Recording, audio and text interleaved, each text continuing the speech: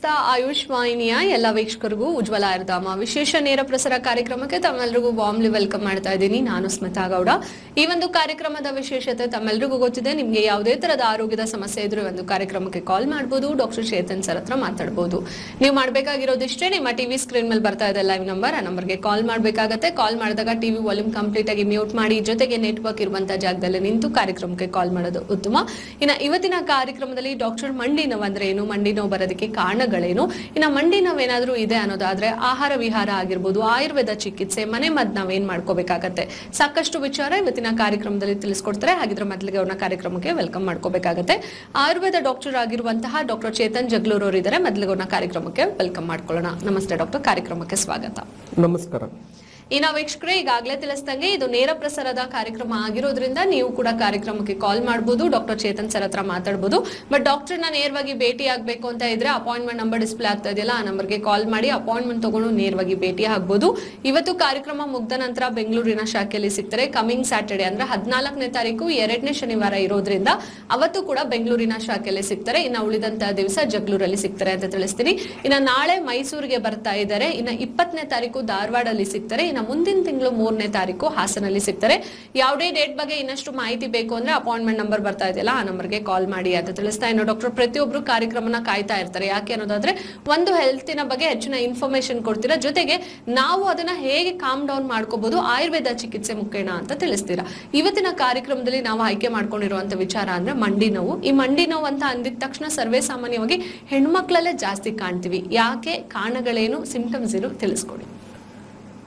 ಇವಾಗ ಮಂಡಿ ನೋವು ಅಂತ ಹೇಳಿದ್ರೆ ಎರಡು ಮೂಳೆಗಳ ಮಧ್ಯದಲ್ಲಿ ಒಂದು ಜಾಗ ಇರುತ್ತೆ. ಅದು ಯಾವಾಗ ಸವಿತಾ ಬರುತ್ತೆ ಅಂದ್ರೆ ಸೈನೋವಲ್ ಫ್ಲೂಯಿಡ್ ಅಂತ ಇರುತ್ತೆ. ಆ ಸೈನೋವಲ್ ಫ್ಲೂಯಿಡ್ ಯಾವಾಗ ಕರಗುತ್ತಲ್ಲ, ಅವಾಗ ಮಂಡಿಗಳು ಸವಿತ ಸ್ಟಾರ್ಟ್ ಆಗುತ್ತೆ. ಆಮೇಲೆ ಯಾವಾಗ ಮಂಡಿಗಳು ಸವಿತ ಸ್ಟಾರ್ಟ್ ಆಗುತ್ತಲ್ಲ, ಅವಾಗ ಈ ಕೆಳಗಡೆ ಓಡಾಡಕ್ಕಾಗಲ್ಲ, ಅಂದ್ರೆ ಕೆಳಗಡೆ ಕೂತ್ಕೊಳ್ಳೋಕ್ಕಾಗಲ್ಲ ಮೇಲ್ಗಡೆ ಮೆಟ್ಲತ್ತಕ್ಕಾಗಲ್ಲ, ಆಮೇಲೆ ಓಡಾಡುವಾಗ ಸ್ವಲ್ಪ ಕಟ್ ಕಟ್ ಅಂತ ಸೌಂಡ್ ಬರೋದು ನೋವು ಆಗೋದು ಸುಮ್ಮನೆ ಸ್ವಲ್ಪ ಕೆಲಸ ಮಾಡಿದ್ರೆ ತುಂಬಾನೇ ತುಂಬಾ ನೋವು ಆಗೋದು ಆ ತರ ಆಗೋದು ಸರ್ವೇ ಸಾಮಾನ್ಯ. ಇವಾಗ ಯಾಕೆ ಹೆಣ್ಮಕ್ಳಲ್ಲೇ ಜಾಸ್ತಿ ಕಾಣಿಸ್ಕೊಳುತ್ತೆ ಅಂತ ಹೇಳಿದ್ರೆ, ಯಾವಾಗ ಮುಟ್ಟ ನಿಲ್ಲುತ್ತಲ್ಲ, ಅವಾಗ ಕ್ಯಾಲ್ಸಿಯಂ ಲೆವೆಲ್ ಸಡನ್ ಕಮ್ಮಿ ಆಗ್ಬಿಡುತ್ತೆ ಹಾರ್ಮೋನಲ್ ಇಂಬ್ಯಾಲೆನ್ಸ್ ಆಗಿ. ಆ ಯಾವಾಗ ಕ್ಯಾಲ್ಸಿಯಂ ಲೆವೆಲ್ ಸಡನ್ ಕಮ್ಮಿ ಆಗುತ್ತೆ, ಅವಾಗ ಮೂಳೆಗಳು ಸವಿಯೋದು ಸರ್ವೇ ಸಾಮಾನ್ಯ. ಯೂಶಲಿ ಏನಂತ ಹೇಳಿದ್ರೆ ಸ್ಟಾರ್ಟಿಂಗ್ ಅಲ್ಲಿ ಅದನ್ನ ಕೇರ್ ತಗೊಳಲ್ಲ. ಇನ್ನು ಸ್ವಲ್ಪ ನೋವಿದೆ ಅಥವಾ ಏನೋ ಮನೆ ಮದ್ದು ಮಾಡ್ತಾ ಇದ್ದೀನಿ ಅಥವಾ ಇನ್ನೊಂದೇನೋ ಮಾಡ್ತಾ ಇದ್ದೀನಿ ಅಂತ ಹೇಳ್ಬಿಟ್ಟು ನೆಗ್ಲೆಕ್ಟ್ ಮಾಡ್ಬಿಡ್ತಾರೆ.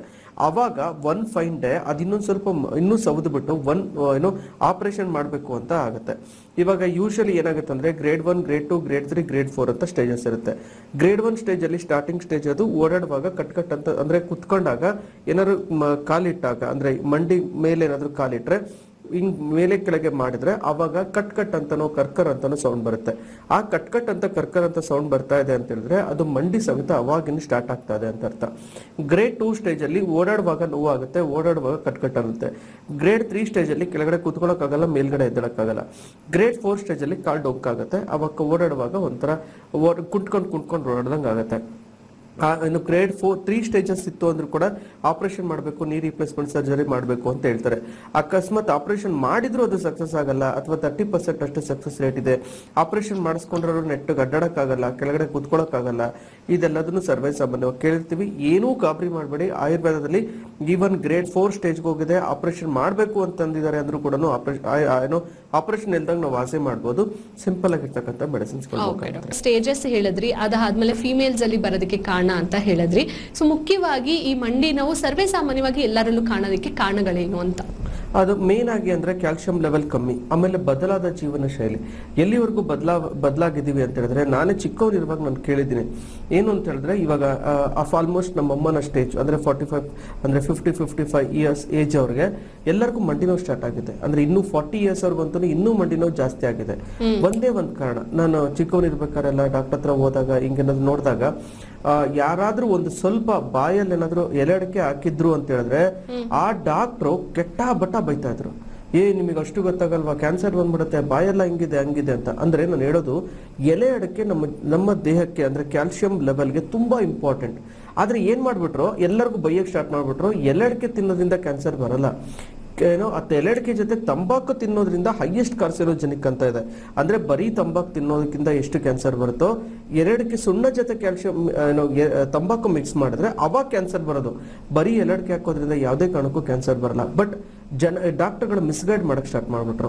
ಅಂದ್ರೆ ನೀವು ಎಲ್ಲಡಿಕೆ ಹಾಕಿದ ತಕ್ಷಣ ತಂಬಾಕು ಹಾಕೇ ಹಾಕ್ತಾರೆ ಅನ್ನೋ ತರ ಅವ್ರ ತರ ಒಳಗೆ ಕಾನ್ಸೆಪ್ಟ್ ಆ ತರ ಮಾಡ್ಬಿಟ್ಟು ಕ್ಯಾನ್ಸರ್ ಬರುತ್ತೆ ಕ್ಯಾನ್ಸರ್ ಬರುತ್ತೆ ಅಂತ ಮಂಡಿ ಸವಿತ ಅಂದ್ರೆ ಕ್ಯಾಲ್ಸಿಯಂ ಲೆವೆಲ್ ಅಂದ್ರೆ ಎಲ್ಲಡಿಕೆ ಬಿಡಿಸ್ಬಿಟ್ರು. ಇವಾಗ ಎಲ್ಲರಿಗೂ ಮಂಡಿ ನೋವು ಸ್ಟಾರ್ಟ್ ಇವಾಗ ಫಾರ್ ಎಕ್ಸಾಂಪಲ್ ಎಷ್ಟೊಂದು ಸರಿ ನಾನು ನೋಡಿರ್ತೀನಿ ಅವ್ರ ಅಜ್ಜಿ ಇರ್ತಾರಲ್ವಾ ಅಂದ್ರೆ ಅವ್ರ ಅಮ್ಮ ಅವ್ರುಗಳು ಮಗಳನ್ನ ಕಲ್ಕೊಂಡ್ ಬಂದಿರ್ ಅಂದ್ರೆ ಕರ್ಕೊಂಡ್ ಬಂದಿರ್ತಾರೆ. ಡಾಕ್ಟ್ರೇ ನನ್ನ ಮಗಳಿಗೆ ಮಂಡಿ ನೋವಿದೆ ನಿಮ್ ಪ್ರೋಗ್ರಾಮ್ ನೋಡಿದೆ ಅವ್ರಿಗೆ ಟ್ರೀಟ್ಮೆಂಟ್ ಮಾಡ್ಕೊಳ್ಳಿ. ಅಜ್ಜಿ ನೀವ್ ಹೆಂಗಿದ್ದೀರಾ ಅಂತ ಹೇಳಿದ್ರೆ ನಾನ್ ತುಂಬಾ ಚೆನ್ನಾಗಿದ್ದೀನಿ ಡಾಕ್ಟ್ರೆ. ಬಾಯಲ್ಲೆಲ್ಲ ಎರಡಕ್ಕೆ ಹಾಕಿರ್ತಾರೆ ಅವರು ಅಂದ್ರೆ ಬಾಯೆಲ್ಲ ಕಪ್ಪಗಾಗಿರ್ತಾರೆ. ಅವ್ರಿಗೆ ಹೇಳಿದ್ರೆ ನನ್ನ ಮಗಳು ಹೇಳ್ತಾ ಇದ್ಲು ಡಾಕ್ಟ್ರೆ ಎಲ್ಲ ಎರಡಕ್ಕೆ ಹಾಕ್ಬೇಡ ಹಾಕ್ಬೇಡ ಅಂತ ಹೇಳ್ಬಿಟ್ಟು ನಾನು ಹಾಕ್ತಾ ಇದ್ದೆ ನನ್ನ ಮಂಡಿ ನೋವು ಬಂದಿಲ್ಲ ಯೂರಿ ಬಂದಿದೆ ಅಂತ.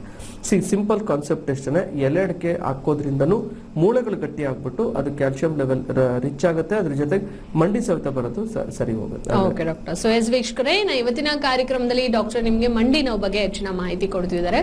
ಬಟ್ ನಿಮಗೆ ಯಾವುದೇ ತರಹದ ಆರೋಗ್ಯದ ಸಮಸ್ಯೆ ಇದ್ರು, ಥೈರಾಯ್ಡ್ ಇದೆ ಪಿ ಸಿ ಇದೆ ಹೆಡ್ಏಕ್ ಇದೆ ಮೈಗ್ರೇನ್ ಇದೆ ಡಯಾಬಿಟೀಸ್ ಇದೆ ಸ್ಕಿನ್ ಅಲ್ಲಿ ಪ್ರಾಬ್ಲಮ್ಸ್ ಆಗ್ತಾ ಇದೆ ಹೇರ್ ಪ್ರಾಬ್ಲಮ್ಸ್ ಆಗ್ತಾ ಇದೆ, ಯಾವುದೇ ತರಹದ ಸಮಸ್ಯೆ ಇದ್ರು ಕಾರ್ಯಕ್ರಮಕ್ಕೆ ಕಾಲ್ ಮಾಡಿ ಅಂತ ಕಾರ್ಯಕ್ರಮದಲ್ಲಿ ಮಂಡಿ ನೋವು ಏನಾದ್ರೂ ಇದ್ರೆ ನಾವು ಆಯುರ್ವೇದ ಚಿಕಿತ್ಸೆ ಏನ್ ಮಾಡ್ಕೋಬೇಕಾಗತ್ತೆ? ಅಂತ ಡಾಕ್ಟರ್ನ ಕೇಳಿ ತಿಳ್ಕೊಳ್ಳೋಣ. ಮಂಡಿ ನೋವಿದ್ರೆ ಏನ್ ಮೆಡಿಸಿನ್ ತಗೋಬೇಕು ಅಂತ ಹೇಳಿದ್ರೆ ನಾನು ಅವಾಗಲೇ ತಿಳಿಸ್ಕೊಟ್ಟಿದ್ದೀನಿ. Grade three grade four stage ಅಲ್ಲಿ ಇದ್ರೆ ಆಪರೇಷನ್ ಮಾಡಬೇಕು ಅಂತ ಹೇಳಿರ್ತಾರೆ ಕೆಲವೊಂದ್ಸರಿ ದಿನಾ ಒಂದೊಂದು ಮಾತ್ರೆ ತಗೊಂಡು ತಗೊಂಡು ನೋವಿನ ಮಾತ್ರೆಗಳು ತಗೊಂಡು ಕಿಡ್ನಿ ಫೇಲರ್ ಕೂಡ ಮಾಡ್ಕೊಂಡ್ಬಿಟ್ಟಿರ್ತಾರೆ ಅದು ಡಯಾಲಿಸಿಸ್ ಮಾಡಬೇಕು ಅಂತ ಹೇಳಿರ್ತಾರೆ.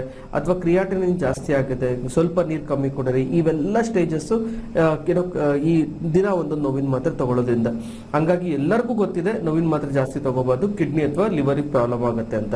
ಹಂಗಂದ್ರೆ ಆಯುರ್ವೇದದಲ್ಲಿ ಏನಾದರೂ ಟ್ರೀಟ್ಮೆಂಟ್ ಇದೆಯಾ ಡಾಕ್ಟರ್? ಕಂಪ್ಲೀಟ್ ಆಗಿ ವಾಸಿ ಮಾಡ್ಬೋದಾ ಅಂತ ಕೇಳಿದ್ರೆ ಖಂಡಿತವಾಗ್ಲೂ ವಾಸಿ ಮಾಡ್ಬೋದು, ಯಾವುದೇ ಆಪರೇಷನ್ ಬೇಕಾಗಿಲ್ಲ.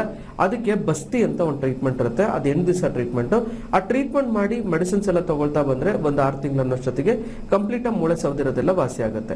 ಜೊತೆಗೆ ಇವಾಗ ಗ್ರೇಡ್ ತ್ರೀ ಸ್ಟೇಜ್ ಅಲ್ಲಿ ಇದೆ ಅಂತಂದ್ರೆ ಅದಕ್ಕೆ ಆಬಗುಗ್ಗುಲು ಮಹಾನಣತೆಲ ಅಶ್ವಗಂಧ ಚೂರ್ಣ ಪಿ ಟಿ ಜಿಗೃತ ಮತ್ತೆ ಕಲ್ಯಾಣಕ್ಷರ ಅಂತ ಮೆಡಿಸಿನ್ಸ್ ಇರುತ್ತೆ. ಅವುಗಳನ್ನ ತಗೊಳ್ಳೋದ್ರಿಂದ ಆ ಮೂಳೆಗಳು ಉತ್ಪತ್ತಿ ಆಗ್ಬಿಟ್ಟು ಕಂಪ್ಲೀಟ್ ನಾರ್ಮಲ್ ಆಗುತ್ತೆ. ಅದ್ರಲ್ಲಿ ರಿಸರ್ಚ್ ರಿಸರ್ಚ್ ಮಾಡೋದ್ ಮುಖಾಂತರ ನೋಡಿರೋ ಪ್ರಕಾರ ಅಸ್ಥಿಶೃಂಖಲ ಲಾಕ್ಷ ಮತ್ತೆ ಶಲ್ಲಾಕಿ ಅಂತ ಇರುತ್ತೆ. ಆ ಗಿಡಮೂಲಿಕೆಗಳು ಮೂಳೆಗಳನ್ನ ಉತ್ಪತ್ತಿ ಮಾಡೋದಕ್ಕೆ ಏನೋ ಅನುಕೂಲ ಮಾಡಿಕೊಡುತ್ತೆ, ಮೂಳೆಗಳು ಉತ್ಪತ್ತಿ ಮಾಡುತ್ತೆ ಅಂತ.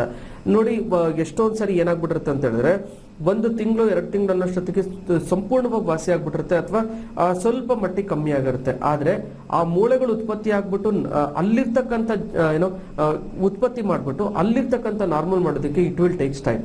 ಅಂದ್ರೆ ಮೂರರಿಂದ ಆರು ತಿಂಗಳು ಬೇಕೇ ಬೇಕು.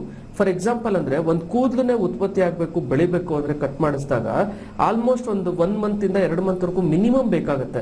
ಆದ್ರೆ ಮೂಳೆಗಳು ಸೌದಿರೋದನ್ನ ಉತ್ಪತ್ತಿ ಮಾಡಬೇಕು ಅಂದ್ರೆ ಒಂದ್ ಮೂರರಿಂದ ಆರು ತಿಂಗಳು ಬೇಕೇ ಬೇಕು. ನಾನು ಹೇಳ್ದಂಗೆ ಕರೆಕ್ಟ್ ಆಗಿ ಒಂದ್ ಮೂರರಿಂದ ಆರು ತಿಂಗಳವರೆಗೂ ನನ್ ಒಂದು ನಾಲ್ಕೇ ಐದು ಮೆಡಿಸಿನ್ಸ್ ಅಷ್ಟೇ. ಅವನ್ ತಗೊಳ್ತಾ ಬಂದ್ರೆ ಲೈಫ್ ಟೈಮ್ ನೀವು ಆರಾಮ್ ಇರ್ಬೋದು, ಕೆಳಗಡೆ ಕುತ್ಕೋಬಹುದು ಮೇಲ್ಗಡೆ ಅಡ್ಡಾ- ಅಡ್ಡಾಡ್ಬೋದು, ಮೆಟ್ಲ ತೆಳಿಬಹುದು ಏನೆಲ್ಲಾ ಕೆಲಸಗಳು ಬಿಟ್ಟಿದ್ರು ನಾರ್ಮಲ್ ಸಿಮ್, ನಾರ್ಮಲ್ ಆಗೋದಕ್ಕೆ ಅನುಕೂಲ ಮಾಡ್ಕೊಡುತ್ತೆ. ಹಂಗಾಗಿ ಆ ಕೋರ್ಸ್ ಕಂಪ್ಲೀಟ್ ಮಾಡಿದ್ರೆ ಸಾಕೆ ಸಾಕು. ಎಷ್ಟೇ ವರ್ಷಗಳಿಂದ ಇರಲಿ ಫೋರ್ತ್ ಡಿಗ್ರಿ ಏನಾದರೂ, ಅಂದ್ರೆ ಮೂಳೆಗಳು ಸೌದಿದ್ರು ಕೂಡ ನೀ ರಿಪ್ಲೇಸ್ಮೆಂಟ್ ಸರ್ಜರಿ ಮಾಡಬೇಕು ಅಂತಿದ್ರು ಕೂಡ ನಾವು ವಾಸಿ ಮಾಡ್ಬೋದು, ಏನು ಗಾಬರಿ ಬೇಕಾಗುತ್ತೆ ಓಕೆ ಡಾಕ್ಟರ್ ಸೊ ಎಸ್ ವೀಕ್ಷಕರೇ ನನಗೆ ಮಂಡಿ ನೋವೇನಾದ್ರೂ ಇದೆ ಅನ್ನೋದಾದ್ರೆ ಮನೆ ಮದ್ದು ನಾವೇನ್ ಮಾಡ್ಕೋಬೇಕಾಗತ್ತೆ ಅಂತ ಡಾಕ್ಟರ್ನ ಕೇಳಿ ತಿಳ್ಕೊಳ್ಳೋಣ. ಈ ಮಂಡಿ ನೋವಿಗೆ ಏನ್ ಮನೆ ಮದ್ದು ಮಾಡ್ಕೋಬೇಕು ಅಂತ ಹೇಳಿದ್ರೆ ಆ, ಎಲೆಡಿಕೆ ಅವಾಗ್ಲೇ ಹೇಳಿದೀನಿ ಎಲ್ಲಡಿಕೆ ಚೆನ್ನಾಗಿ ತಿನ್ನಿ ಅಂತ. ಅದ್ರ ಜೊತೆಗೆ ಎಳ್ಳುಂಡೆ ಮಾಡ್ಕೋಬಹುದು ಎಳ್ಳುಂಡೆ ಎಳ್ಳುಂಡೆ ಅಂತ ಹೇಳಿದ್ರೆ ಈ ಕರಿ ಎಳ್ಳನ್ನ ಅಷ್ಟೇ ತಗೊಂಡು ಸ್ವಲ್ಪ ಬೆಲ್ಲ ಹಾಕಿ ಅದನ್ನ ಚೆನ್ನಾಗಿ ಮಿಕ್ಸಿ ಮಾಡ್ಬಿಟ್ಟು ಅದನ್ನ ಉಂಡೆ ಮಾಡ್ಕೊಂಡು ದಿನ ಒಂದೊಂದು ತಗೊಳೋದ್ರಿಂದ ಅನುಕೂಲ ಆಗುತ್ತೆ. ಸರಿ ಏನೆಲ್ಲ ಆಹಾರ ಮಾಡ್ಕೋಬೇಕು ಅಂತ ಹೇಳಿದ್ರೆ ಮೇನ್ ಆಗಿ ನಾವು ತುಪ್ಪ ಚೆನ್ನಾಗಿ ತಿನ್ಬೇಕು. ಆಮೇಲೆ ಊಟದಲ್ಲಿ ಒಂದೊಂದು ಚಮಚ ತುಪ್ಪ ತಿಂತ ಬನ್ನಿ. ಎಷ್ಟೊಂದು ಜನ ನಿಮಗೆ ಮಿಸ್ಗೈಡ್ ಮಾಡಿರ್ತಾರೆ. ಏನೋ ತುಂಬಾ ದಪ್ಪ ಇದ್ದ ತಕ್ಷಣ ಮಂಡಿ ಸವಿತ ಬಂದ್ಬಿಡುತ್ತೆ, ಮೂಳೆಗಳು ಸವಿಯುತ್ತೆ, ಅದು ವೇಟ್ ಜಾಸ್ತಿ ಆಗ್ಬಿಡುತ್ತೆ ವೇಟ್ ಕಮ್ಮಿ ಮಾಡ್ಕೊಳ್ಳಿ, ಆ ತರದೆಲ್ಲ ಹೇಳಿರ್ತಾರೆ. ಅದಕ್ಕೆ ನೀವು ತುಪ್ಪ ತಿನ್ನೋದು ಬಿಟ್ಬಿಟ್ಟಿರ್ತಾರೆ. ಆ ತುಪ್ಪ ಹಾಲು ಕುಡಿಯೋದು ಬಿಟ್ಟಿರ್ತಾರೆ. ಇವುಗಳೆಲ್ಲ ಕ್ಯಾಲ್ಸಿಯಂ ರಿಚ್ ಇರುತ್ತೆ. ಆಮೇಲೆ ಅಲ್ಲಿ ಪೆಥಾಲಜಿ ಸಿಂಪಲ್ ಆಗಿ ಅರ್ಥ ಮಾಡ್ಕೊಳ್ಳಿ. ಯಾರು ಏನಾದ್ರೂ ಹೇಳ್ಕೊಂಡ್ಲಿ. ಇವಾಗ ಎರಡು ಮಂಡಿಗಳ ಮಧ್ಯದಲ್ಲಿ ಆ ಸೈನವಲ್ ಫ್ಲೂಯಿಡ್ ಅಂತ ಇರುತ್ತೆ ಅದು ಎಣ್ಣೆ ಅಂಶ, ಕ್ರೀಸ್ ಅಂಶ. ಅದು ಫಿಲ್ ಅದು ಕಮ್ಮಿ ಆದಾಗ ಮೂಳೆ ಸವಿತ ಅಂತಂದಾಗ ನಾವ್ ಎಲ್ಲಿಂದ ಉತ್ಪತ್ತಿ ಆಗ್ಬೇಕು? ಊಟದಲ್ಲಿ ತುಪ್ಪ ತಿನ್ಬೇಕು, ಬೆಣ್ಣೆ ತಿನ್ಬೇಕಲ್ವಾ? ಸೊ ಅದನ್ನೇ ತಿನ್ಬೇಡಿ ತೆಳ್ಳಗಾಗ್ಬೇಕು ಅಂತ ಹೇಳಿದ್ರೆ ಅದಕ್ಕೆ ಅರ್ಥನೇ ಇರಲ್ಲ. ಸೊ ಹಂಗಾಗಿ ನೀವು ದಿನ ಒಂದೊಂದು ಚಮಚ ತುಪ್ಪ ತಿಂತ ಬನ್ನಿ. ಎಲಡಿಕೆ ಹಾಕೊಳ್ಳಿ ಆಮೇಲೆ ಕ್ಯಾಲ್ಸಿಯಂ ಇರ್ತಕ್ಕಂಥ ಹಾಲು, ಹಾಲಿನ ಪದಾರ್ಥಗಳನ್ನ ಜಾಸ್ತಿ ತಿಂತಾ ಬರೋದ್ರಿಂದ ಮೂಳೆಗಳು ಉತ್ಪತ್ತಿ ಆಗೋದಕ್ಕೆ ಖಂಡಿತವಾಗ್ಲೂ ಅನುಕೂಲ ಆಗುತ್ತೆ. ಮುಖ್ಯವಾಗಿ ಈಗ ಮಂಡಿ ಸವೆತ ಆಗಿರ್ಬೋದು, ಮಂಡಿ ನಾವು ಏನೇ ಬಂದ್ರು ಮೋಸ್ಟ್ ನಾವು ಮೊದಲೆಲ್ಲ ಕೇಳಿದಾಗ ಆಫ್ಟರ್ ಅ ಫಿಫ್ಟಿ ಇಯರ್ಸ್ ಅಲ್ಲಿ ಕೇಳ್ತಾ ಇದ್ವಿ. ಬಟ್ ಇತ್ತೀಚೆಗೆ ತರ್ಟಿ ಫೈವ್ ಇಯರ್ಸ್ ಇಲ್ಲಿರೋರು ಕಾಲ್ ಮಾಡಿರ್ತಾರೆ. ಏನಕ್ಕೆ ಅಂತ? ನಾನು ಅವಾಗಲೇ ತಿಳಿಸ್ಕೊಟ್ಟಂಗೆ ತುಂಬಾ ಕಾರಣಗಳಿದೆ. ಒಂದು, ಬದಲಾದ ಜೀವನ ಶೈಲಿ. ನಾವು ಕ್ಯಾಲ್ಸಿಯಂ ರಿಚ್ ಫುಡ್ ತಗೊಳ್ಳಲ್ಲ ಆಮೇಲೆ ಕ್ಯಾಲ್ಸಿಯಂ ರಿಚ್ ಫುಡ್ ಇರ್ಲಿಲ್ಲ ಅಂತಂದ್ರೂ ಸಮೇತ ಅಲ್ಲಿ ಏನೋ ಕೆಲವೊಂದ್ಸರಿ ಏನಾಗತ್ತಂದ್ರೆ ಏನು ಜಾಸ್ತಿ ವರ್ಕ್ ಮಾಡಲ್ಲ. ಆಮೇಲೆ ಓಟ ಓಡಾಟ ಇರಲ್ಲ, ಕೂತ್ಕೊಂಡೆ ಕೆಲಸ ಮಾಡೋದು, ಇವೆಲ್ಲವೂ ಕೂಡ ಒಂದು ಕಾರಣ ಆಗಿರುತ್ತೆ. ಜೊತೆಗೆ ಮೂವತ್ತೈದು, ನಲ್ವತ್ತು ವರ್ಷದಲ್ಲಿ ಈ ಯೂಶಲಿ ಯಾಕೆ ಕಾಣಿಸ್ಕೊಳುತ್ತೆ ಅಂದ್ರೆ, ಹೆಣ್ಮಕ್ಳಿಗೆ ಈ ಕ್ಯಾಲ್ಸಿಯಂ ಏನೋ ದಪ್ಪ ಆಗ್ಬಿಡ್ತೀನಿ ಅಂತ ಹೇಳ್ಬಿಟ್ಟು ತೆಳ್ಳಗೆ ತೆಳ್ಳಗಾಗ್ಬೇಕು ಅಂತ ಏನೇನೋ ಮೆಡಿಸಿನ್ ಸ್ಟಾಪ್ ಮಾಡ್ಬಿಟ್ರೆ, ಅಂದ್ರೆ ಏನೇನೋ ಊಟದಲ್ಲಿ ವ್ಯತ್ಯಾಸ ಮಾಡ್ಕೊಂಡಿರ್ತೀರ, ಅದರಿಂದನೂ ಆಗಿರುತ್ತೆ. ಜೊತೆಗೆ ಈ ಒಂದು ಮೂವತ್ತೈದು, ನಲ್ವತ್ತು ವರ್ಷ ಅನ್ನೋಷ್ಟೊತ್ತಿಗೆ ಗರ್ಭಚಿಲ್ಲೆ ತೆಗೆದಾಕ್ಬಿಡ್ತಾರೆ ಏನೇನೋ ಹೇಳ್ಬಿಟ್ಟು, ಅಥವಾ ಮುಟ್ ನಿಂತೋಗುತ್ತೆ. ಇವೆಲ್ಲಾ ಕಾರಣಗಳಿಂದನೂ ಈ ಮಂಡಿ ಅಂತ ಬರೋದು ಸರ್ವೇ ಸಾಮಾನ್ಯವಾಗಿ ಕಾಣಿಸ್ಕೊಳ್ತಾರೆ ಓಕೆ ಸೊ